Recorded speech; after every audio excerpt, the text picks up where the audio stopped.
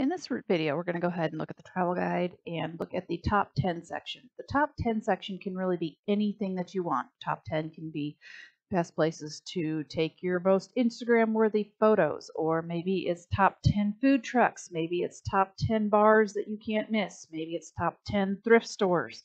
Totally up to you as to how you're going to approach this and what makes sense for your publication.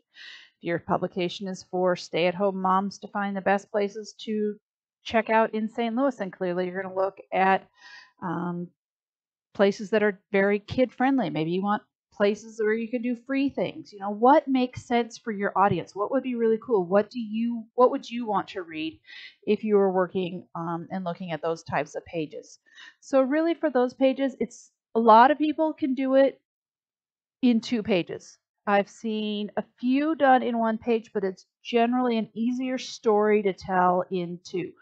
So maybe I really like this one that's got kind of the honeycombs, but I kind of have, you know, these circles going out around throughout my publications. Maybe I want to make these into some type of circles. If you are going to do a two-page spread, things you have to watch for. What to do with this gutter, because a lot of times this gutter ends up being this, you know, two different pages, and you're going to have items that jump from one page to another. So this student, you know, approached it by putting one big thing here and nine small things here. Here, they worked around it by doing a variety of different sizes. Remember, this is not a yearbook. It doesn't have to have exactly the same size images for everything. What makes sense for your publication? So let's see what's required for this section. You need to have heads and subheads. So top 10 food trucks, uh, ways to uh, best uh, pub crawl, whatever makes sense. It has to have at least 10 items. Um, looking for those text boxes to be linked from one to another, that your text frame options are used to make columns whenever possible. This is one of those wonky pages that it is really easy just to start making more and more text boxes, but it makes it much harder. So if you can, try and create fewer. You know, just because this page itself has got three different styles of type doesn't mean you have to have three different boxes.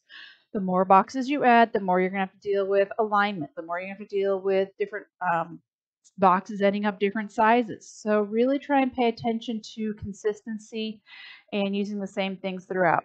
Uh, photo credits on this one can be a little bit weird. Maybe you want to make sure that you do your photo credits inside the photos. Whatever you're doing for your publication, make it consistent.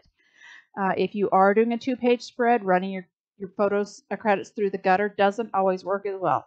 Um, watch when you're at the bottom. You don't want to crowd your publication and your footer information too much. So really pay attention to what's going on there. Uh, we have to have a paragraph and character styles. For this one, you have to have at least five graphic elements per page. So this one definitely has far more going on, but you've got more of a story to tell. Not every single item has to have a picture. It's up to you as to what is going to make sense and how do you want to tell that story. So this is a really easy one to Google and find some really strong inspiration pieces for.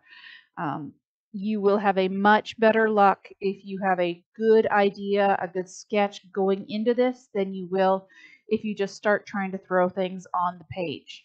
Um, I like how this one really does a good job.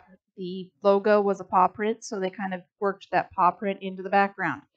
How much text is required? Do you need a lot of text? Do you need just a little text? How do you want to deal with numbers? Uh, if you are going to include numbers, you know, is this a 1 being the best, 10 being the worst type of thing? Are they um, based on places on a map? You know, I've seen some of these done really well where they've brought taught it, tied it into a map as well. So what makes sense for your publication? Uh, it is a, it can be a really fun page. It's one of your real true content pages. It's worth, you know, more points than some of your other ones have been. And I think it's one you can have a lot of fun with. So I'm looking forward to seeing what you come up with for your top 10.